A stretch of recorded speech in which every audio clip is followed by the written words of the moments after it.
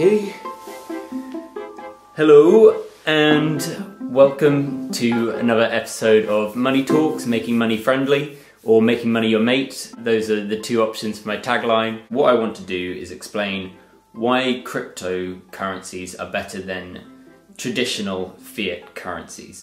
How the pound and the dollar are products that the only value they have is in their limited supply. If the government made it so that anyone could get unlimited dollars or pounds, everyone understands that that would just be pointless. There would be no point in having something that with which people had unlimited access to.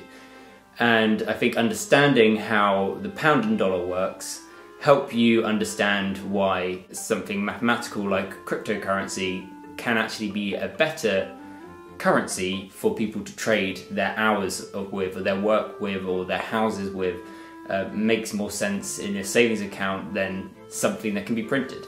To explain crypto in the simplest way possible, I'm going to pretend that there's a banana salesman and an apple salesperson. Is the apple person only makes apples from January through till August. Whereas the banana person can make bananas year round. So the apple person, during the months of September through to December, has nothing to trade with the banana person. So the apple person does something quite simple, quite clever. He prints off an apple coupon. He then gives the apple coupon to the banana person and the, says to the banana person, look, I don't have any apples right now, but in January, when my trees start producing fruit again, you can trade this piece of paper in for an apple. Very, very simple to understand. The banana person is like, okay, great, I like apples, so I'll take your apple currency and I'll give you a banana.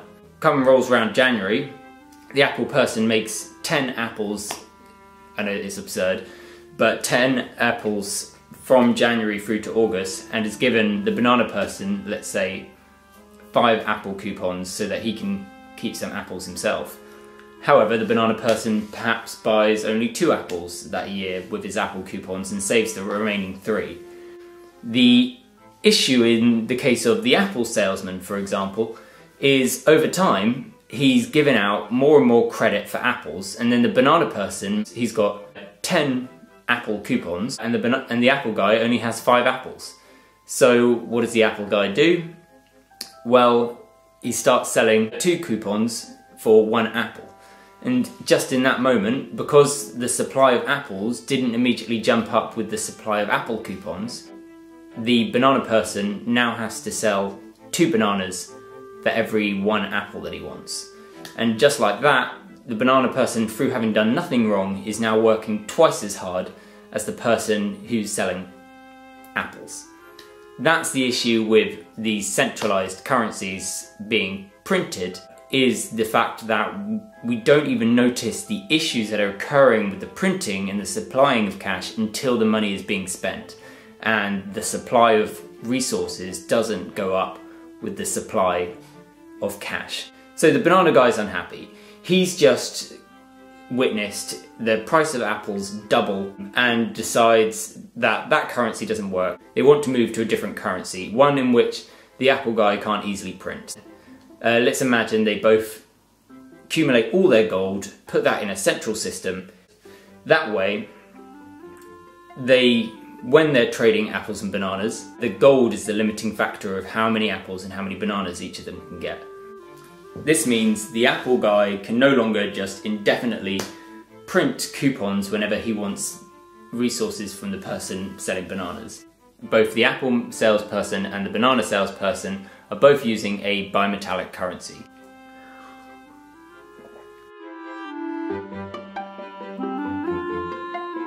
The fact that gold has no applicational value is what's so great about it. It can be sat inside a bank no one actually has a need for it. And so when people are trading this limited token, it's not preventing anyone from developing any infrastructure or growing crops or resources. It just represents value. Gold is decentralized, so there is not one person that controls all the gold. Gold can be found all over the world. So The apple farmer and the banana farmer began trading it. Both of them had some gold to trade with.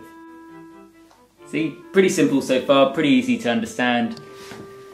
This means come September through December, where the apple guy is not making any apples, he can use the gold he made selling apples to the banana guy during apple season to buy bananas in the winter season. The apple guy, if he doesn't have that much gold, can then conserve how much they're spending, try to sell more apples in the next summer season to the banana guy, and so on and so forth. Both of them are aiming to become more productive, produce more fruit and vegetables in an effort to obtain more gold from each other.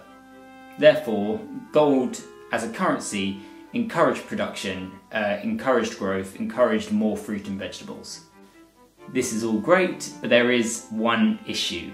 Gold is heavy, uh, it's not convenient to carry around, and so both of them would have preferred to trade with something that was a little lighter to carry, and they didn't have to worry so much about being stolen.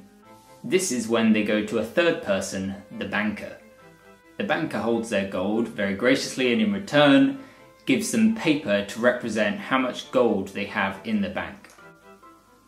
The banker himself never needs the gold, the gold is there to represent value of the apple person's production and value of the banana person's production. The gold is somewhat arbitrary in comparison to this. The gold is just a lump of metal meant to represent the hard work both farmers are putting into production.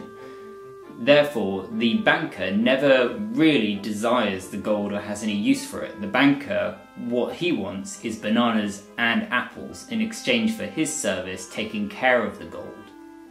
However, as the banker does not want to free, work for free and also doesn't want to charge the apple person or the banana person for their services, he does something quite cunning and he gives prints more paper and gives that paper away uh, representing the gold as a loan to a pear farmer. And so he gives £10 of gold to a pear farmer in the form of paper and tells the pear farmer he needs to pay him back £11 over the next year.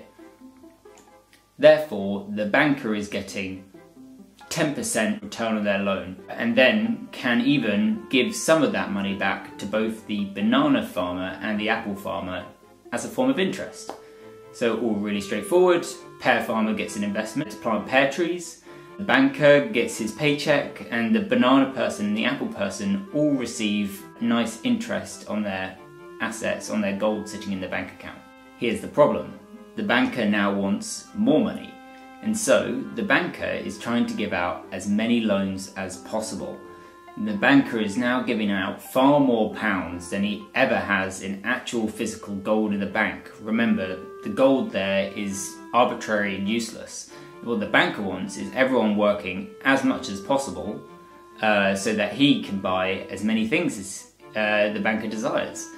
However, because the banker is giving out so many loans, the prices for the entire market, all the pear trees, the apple trees, banana trees, skyrocket because everyone is getting loans in order to buy more things. And because there aren't suddenly more things, the banker has done nothing to actually provide more stuff, just more pieces of paper.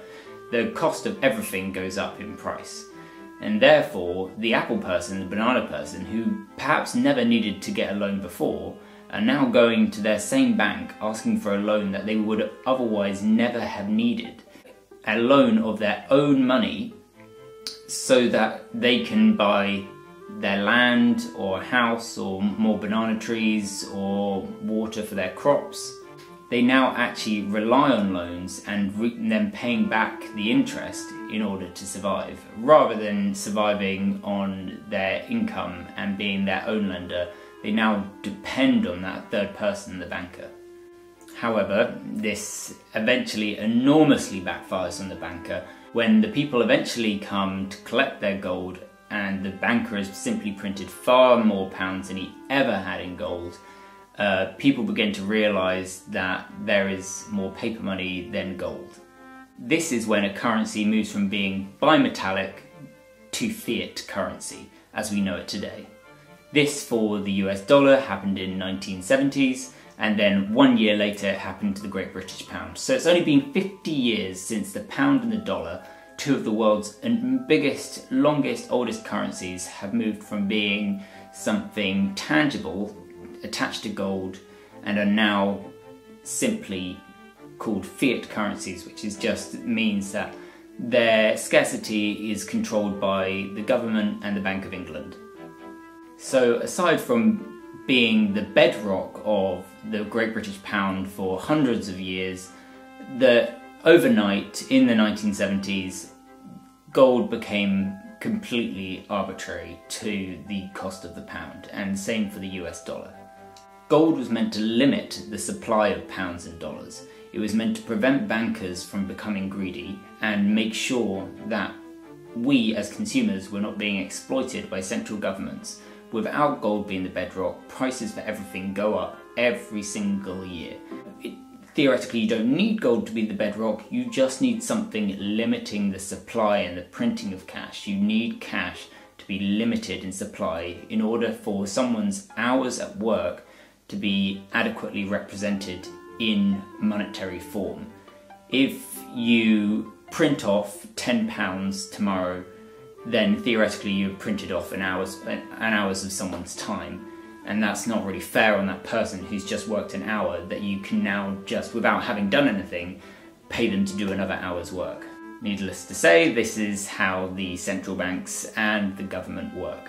So finally, this is where our hero cryptocurrencies come in. Exactly like gold when it first was initiated, it is limited in supply. The only way that we can get more supply of a currency like Bitcoin is if computers use energy to mine for it. And the benefit of the mining is not so that we can get more Bitcoin. Ultimately, we don't really want more Bitcoin. It works just as well as a currency without mining for more of it. The benefit of the fact that there is mining involved is means anyone in any country around the world, so long as they've got a computer, can get access to some of the supply. So it's not one person starting off with all of it and slowly, incrementally dishing it out indefinitely it's everyone around the world can get access to it, and then it distributes fairer and slower and more evenly over time. So it's limited in supply and it's decentralized, just like gold. And another reason it's brilliant like gold is because it is useless. So whereas steel or wheat was often used in the past, you couldn't save these resources in a bank account without taking opportunity away from other people that needed those resources. You wouldn't want your savings account to be a vaccine that people need access to.